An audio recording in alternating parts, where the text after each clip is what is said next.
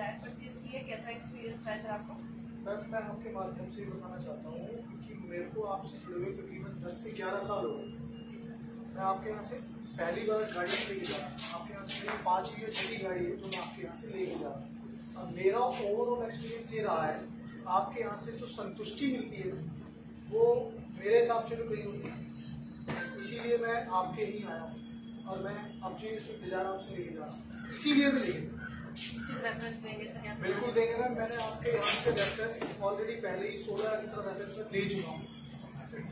Suggestion आप हमें देना चाहेंगे? सजेशन में कोई कमी मुझे लगी नहीं तो मैं क्या सजेशन सजेशन वहाँ दिया जाता है जहाँ कोई कमी होती है। बट आपके यहाँ मुझे कोई कमी नहीं इसीलिए मैं सजेशन नहीं